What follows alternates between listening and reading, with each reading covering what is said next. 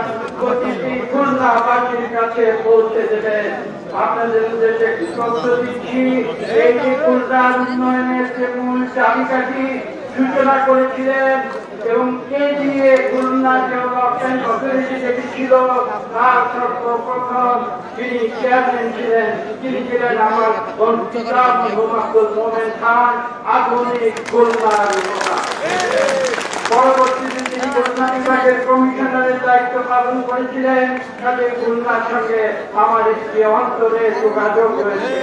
আমি বিশ্বাস করি ভবিষ্যতে খুলনার সার্বিক উন্নয়নে আমরা যদি কোনো সুযোগ পাই, আমরা সেই কাজ করে যাব। পুনরায় যে কথাটি বলেছি, আমাদের মির্জা ফখরুল ইসলাম আলমগীর সাহেব আমাদের মির্জা পঞ্চায়েত সহ আমাদের আমাদের প্রত্যেকের বিরুদ্ধে প্রত্যাহার করে তাদের মুক্তি আমরা ইনশাআল্লাহ এই দেশে গণতন্ত্র পুনঃপ্রতিষ্ঠা করব। সবাইকে ধন্যবাদ প্রিয় নেতা কর্মী ভাই বোনেরা, আমাদের সভাপতির বক্তব্যের পরে আমরা গণমিছিল বের করব গণমিছিল এখান থেকে গিয়ে খুলনা শহরে যে রাস্তা সরকারের কাজ করছে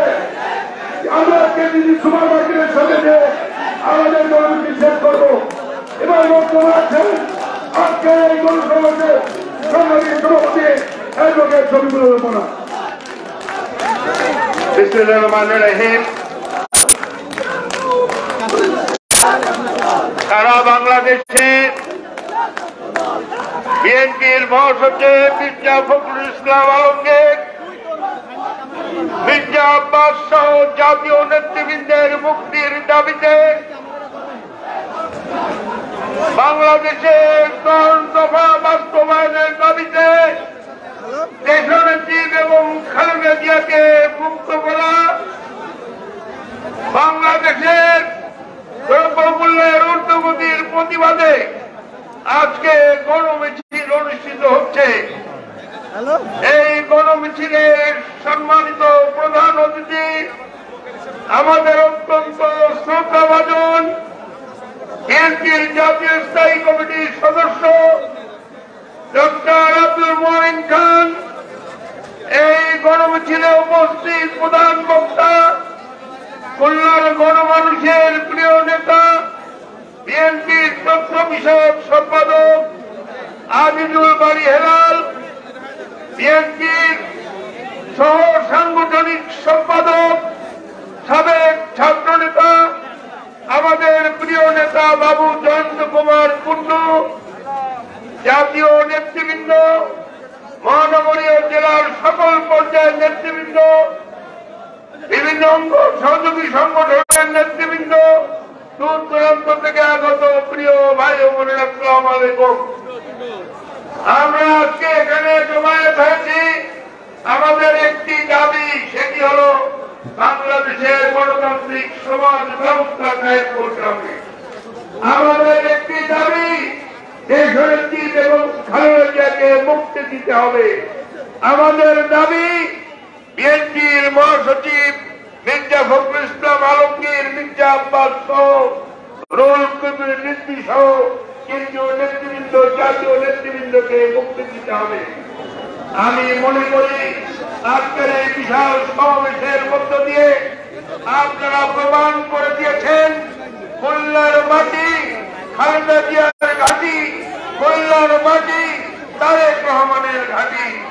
ইনশাল্লাহ আমরা জাতীয় পর্যায়ে যে কর্মসূচি দেওয়া হোক, সেটি আমরা একশত ভাগ পালন করব। আমরা আমাদের সভা এখনই সমাপ্তি ঘোষণা করছি। এরপরে একটি একশত ভাগ সুশৃঙ্খলভাবে আমরা এখান থেকে যেহেতু খুলনার বিভিন্ন রাস্তাঘাটে কাজ চলছে, আমরা শান্তিপূর্ণভাবে এখান থেকে কেসিসি মার্কেট পর্যন্ত যে আমাদের সবার কাজ শেষ করব, আপনারা যারা সিনিয়র নেতৃবৃন্দ, তারা সামনে থাকবেন পঞ্চায়েত কর্মী অঙ্গ সহযোগী সংগঠনের এবং জেলা মহানগরীর নেতৃবৃন্দরা থাকবেন। আমি আপনাদের সকলকে বলব, সুশৃঙ্খলভাবে শান্তি শান্তিপূর্ণভাবে আমরা আমাদের কর্মসূচি শেষ করতে চাই। সকলকে ধন্যবাদ। আল্লাহ হাফেজ। বাংলাদেশ জিন্দাবাদ।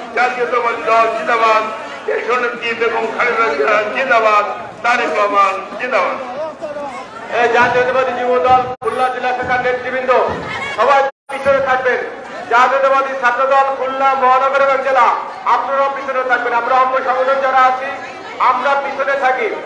আর বিএনপি নেতৃবৃন্দ সামনে যান। ছাত্র দল, যুব দল, আমরা পিছনে থাকব। স্বেচ্ছাসেবক দল, আমরা পিছনে থাকব। んだ。